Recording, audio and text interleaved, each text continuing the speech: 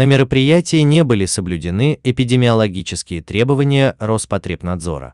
Невский районный суд Санкт-Петербурга принял решение не закрывать Ледовый дворец за нарушение эпидемиологических норм во время концерта рэпера Басты, но вынес постановление оштрафовать комплекс на 480 тысяч рублей.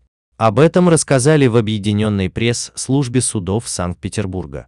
Городские власти после просмотра видео, которое снимали фанаты Басты на концерте, заметили, что зрители нарушали санитарно-эпидемиологические требования, стояли максимально близко друг к другу. Сам артист утверждает, что при организации концерта были учтены все требования Роспотребнадзора.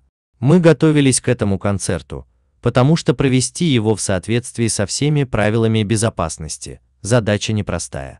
И считаем, что мы с ней справились. Все требования по правилам безопасности, перечисленные в постановлении губернатора, были соблюдены.